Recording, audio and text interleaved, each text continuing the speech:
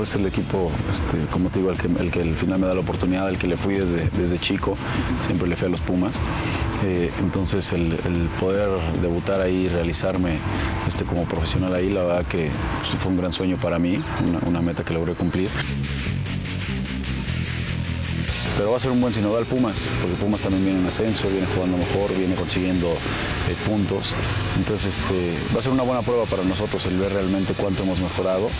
Eh, y, al final lo veo muy equilibrado, porque somos dos planteles eh, plagados de jóvenes. Entonces yo creo que va a ser un partido muy, muy atractivo para la gente que lo pueda seguir. Todavía falta, falta el, generar más ocasiones. Este, lo he mencionado también varias veces sin ningún problema, ¿no? Lo, está a la vista de todos y no hay por qué esconderlo. El equipo tiene que jugar todavía mejor de medio campo para adelante. Este, y una cosa que el mismo Miguel lo dijo, bueno, pues es que no es que la estemos fallando, es que no la estamos teniendo. Y esa es la realidad. Este, podemos ser criticados cuando se fallan. Un delantero necesita tenerla.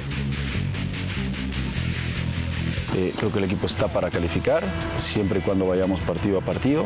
Y ya dentro de la liguilla, que es una, no me gusta utilizar el término obligación, pero para Chivas así debe de ser, el estar en la liguilla, si no estás es un fracaso, y siempre lo he dicho desde que llegué.